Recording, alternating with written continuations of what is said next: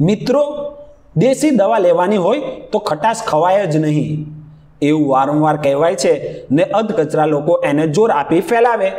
જાણે દેશી દવાને ખટાશને બાપ માર્યા વેર હોય એવું પ્રચલન આજકાલ છે. ઓછું હતું એ ડૉક્ટરોએ પૂરું કર્યું.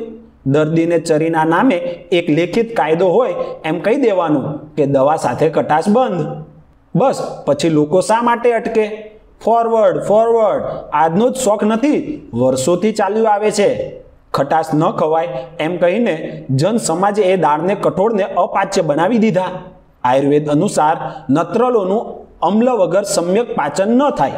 અર્થાત અમ્લ, ખાટા રસ સિવાય નત્રલો પ્રોટીનનું સમ્યક પાચન ન થાય. અહીંયા સમ્યક શબ્દ ખૂબ જ મહત્વ ધરાવે છે. બીજું ખટાશના નામે આજકાલ જે જુદા જુદા નાટક ચાલે છે, એના ઉપરથી પડદો ઉપાડવો જરૂરી છે. ખટાશના નામે લાલ ચટક ટામેટા કે લીંબુ નીચોવીને ખટાશનો મોં પૂરો કરવાનો. શું ટામેટા ખાટા હોય છે? જૂના સમયમાં દેશી ટામેટા આવતા એ ખાટા મીઠા રહેતા. પણ દેખાવ ભૂખ્યા આપણે એને લાલ ચટક બનાવવામાં મૂળ સ્વાદ ચૂકી ગયા. હવેથી ખટાશ માટે જોઈએ તો આયુર્વેદ મુજબ ખાટો રસ સ્વભાવે ઉષ્ણ હોય વાત કફનો નાશ કરે, પિત્ત વધારે. ખાટો રસ હૃદયને હિતકારી છે. આયુર્વેદ અનુસાર ખાટા રસના ગુણ આ છે. આ રસ ખોરાકને સ્વાદિષ્ટ અને રુચિકારક બનાવે છે અને ભૂખ વધારે છે. સ્પર્શ કરવાથી ઠંડો લાગે છે. તેના સેવનથી શરીરની શક્તિ વધે છે. અમ્લ રસ ધરાવતા ખોરાકનું સેવન મગજને વધુ સક્રિય બનાવે છે.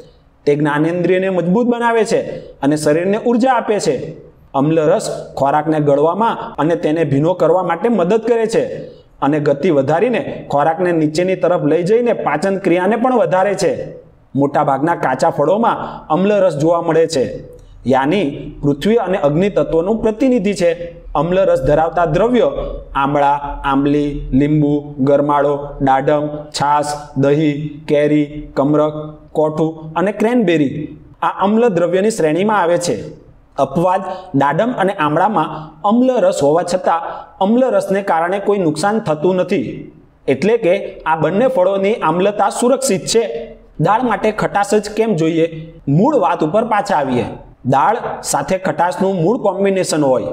શ્રેષ્ઠ હોય તો એ છે આંબલી યાની આંબલી, જે નામ સાંભળીને આપણે ભડકીએ છીએ.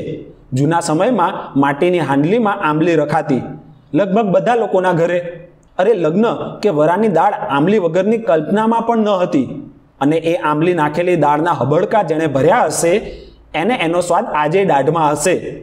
હૃદયને તાકાત આપીને દાળ સાથે ભારે ભોજનને પચાવી દેતી. કેમ કે ખાટા રસ મોંમાં લાળ સ્ત્રાવ વધારે, જે કાર્બનું પણ પાચન કરે. ખોટા પ્રચારે એને દૂર કરી, પછી આવ્યા કોકમ. એ પણ ઉત્તમ હતા. કોકમ એ વજન ઘટાડવા તેમજ કોલેસ્ટ્રોલ ઘટાડે છે. પરદેશમાં ગાર્જેનિયાની આજકાલ બોલબાલા છે. એ જ તમારા કોકમ. કેવું સરસ કોમ્બિનેશન. દાળ પચેને વજન ઘટે. એ ગયા. સાપ ગયા ને લીસોટા રહે. તેમ હવે લીંબુના ફૂલ, યાની સાઇટ્રિક એસિડના નામે કેમિકલ નાખી ખુશ.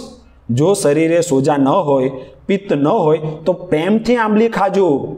એનું પીણું યાની શરબત તમને લૂ લાગવી, યાની સનસ્ટ્રોકથી બચાવે. જૂના મરડો અને આંતરડાના રોગોમાં આંબલી એક જબરજસ્ત ઔષધ છે.